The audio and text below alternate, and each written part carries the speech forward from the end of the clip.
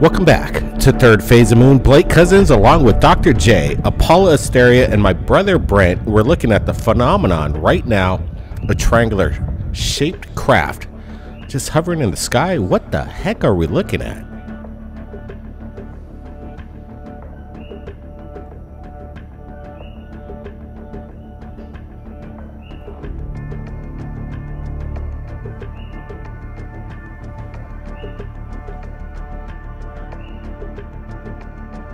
If the camera wasn't around to shoot this, nobody would believe it, but we're looking at something that seems to defy uh, logic. What are we looking at?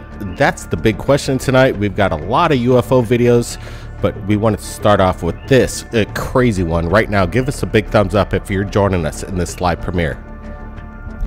Yeah, big time. We just got started. Again, Blake, we've been a little busy, a lot of things on the table, but we're happy to be back right here at Third Phase Moon, sharing the best UFO videos. We're going to be a lot more consistent, and what a great way to start off with this incredible sighting that was just submitted.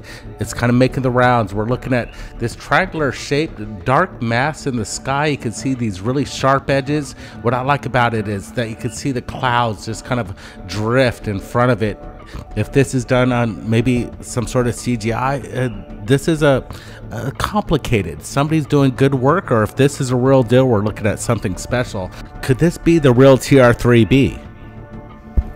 Absolutely. I mean, that's just what came to my mind seeing this. You know, I thought maybe it was a TR3B hovering at first, but you know, it comes around the side. I almost wonder if this is more pyramidal, like it could be like a Vimana type structure, because I think uh, I saw the camera pan a little at one point and it almost looked pyramidal.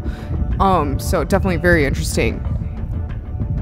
At first glance, I I I also thought it was a TR3B, a typical triangle. But no, just like Apollo said, it looks to me more like a flying pyramid, a black flying pyramid. Almost similar to what people are talking about is hidden in Alaska, only this is in flight. Just like Apollo said, it looks to me more like a flying pyramid, a black flying pyramid.